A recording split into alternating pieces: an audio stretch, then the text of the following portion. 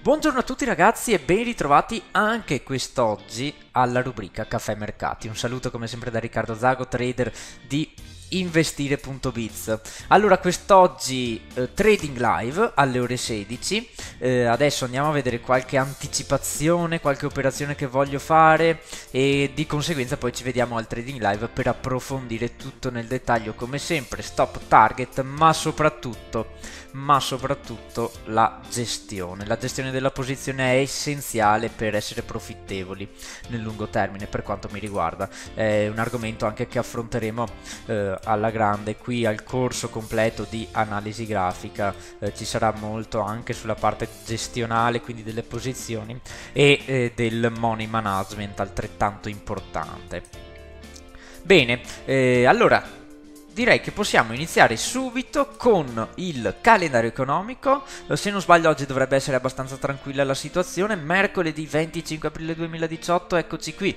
C'è solo un dato interessante quest'oggi, scorte di petrolio greggio alle ore 16.30. Un, uh, un, dato interessante, come sempre lo seguiamo in diretta, uh, vediamo un attimo la volatilità, se tocca dei punti interessanti e successivamente poi, questa sera però, alle ore 22.15, parla il governatore della banca canadese Poloz quindi attenzione anche alle 22.15. Eh, bene, detto questo, io potrei, anzi passo subito eh, ai grafici Andiamo quindi a vedere eh, i vari aggiornamenti con, partendo da euro-dollaro che nella giornata di ieri è rimbalzato molto bene sulla zona di 1,22 nella giornata di oggi sembra però che il dollaro voglia avere un po' di eh, forza. Sta dimostrando un po' di forza ma comunque siamo appena alle 9.30 eh, quindi staremo a vedere.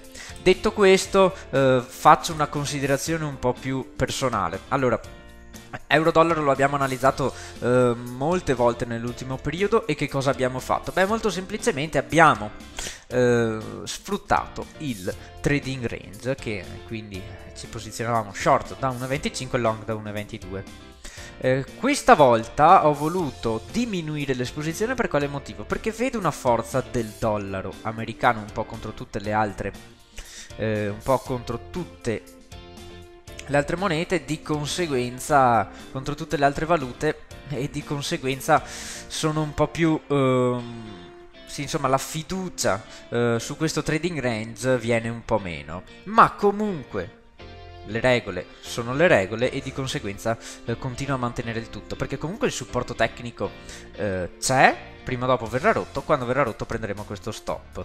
Detto questo è uno stop abbastanza stretto, se poi aggiungiamo anche che abbiamo una minore esposizione, insomma abbiamo un rischio abbastanza limitato che ci consente anche di eh, stare tranquilli a livello psicologico. Quindi eh, log da 1.22, stop al, di sotto del livello di 1.21.50.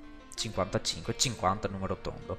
Eh, molto bene. Eh, direi che però possiamo andare avanti e vedere gli indici perché l'Italy, noi siamo short sull'Italy da eh, 24.000 eh, del cash sto parlando. Ehm, anche ripeto ogni giorno non sono pessimista sui mercati anzi ma una resistenza così non può essere ignorata. Quindi siamo short da 24.000 vediamo come tiene. E si può attendere anche la chiusura settimanale per fare delle considerazioni un po' più interessanti. Però comunque teniamolo eh, d'occhio giorno per giorno. Quest'oggi è aperto bene stiamo a vedere come chiude. DAX invece eh, il DAX si trova ora eh, in area 12.480 sto sempre parlando del cash siamo su time frame giornaliero. Eh, allora che cosa avevo detto io qui precedentemente qualche giorno fa? Avevo detto attenzione se il prezzo mi chiude sotto questo minimo che è 12.547 io entro in posizione. Sono entrato in posizione sto già perdendo un po' detto questo però se torna a 12.547 è il punto perfetto. Se invece qualcuno vuole entrare con una minore esposizione inizialmente incrementare successivamente a 12.547 47 eh, può farlo, secondo me è una cosa intelligente. Stop abbastanza stretto perché la chiusura dei prezzi al di sopra del livello di 12.650, eh, quindi anche questa è una resistenza sicuramente molto interessante, poi se la romperà abbiamo spazio almeno fino a 12.850 per quanto mi riguarda. Il gold invece, beh il gold sta scendendo, vediamo se arriverà a target, abbiamo già portato a casa parte del profitto, ieri giornata positiva, oggi però sembra... Uh, sembra calare Detto questo, siamo sempre alle solite storie, attendiamo, attendiamo il target in area 1314 che secondo me potrà arrivare eh, in tempi brevi. Nasdaq, beh, Nasdaq ieri c'è stato un, ritra- un, un, ribasso, un ribasso interessante, anche con degli spike non indifferenti. Detto questo, da apertura a chiusura c'è stato un meno 2%, quindi ovviamente anche tutti i titoli legati al tit- all'indice azionario eh, sono calati ovviamente, quindi parliamo di Facebook, Apple, eh, Amazon e quant'altro, quindi magari oggi al trading live vedremo anche se ci sono delle interessanti occasioni per quanto riguarda eh, tutti questi titoli, i titoli più importanti al mondo, senza dubbio, le aziende più importanti al mondo, e quindi vi aspetto alle ore 16. Io ho concluso, ancora qualcosa da vedere, eh, come ad esempio Banca Ifis, sono entrato long su Banca Ifis, incrementato a 32, lo vedremo anche qui, questo oggi al trading live, però io non mi nascondo mai, ho preso uno stop su NZDUSD. Adesso la cosa interessante è attendere un ritracciamento per entrare in posizione. C'è stato un forte impulso, attendiamo il ritracciamento e cerchiamo di per di percorrere questo nuovo trend. Sono andato oltre il tempo, ma come sempre per me è un piacere.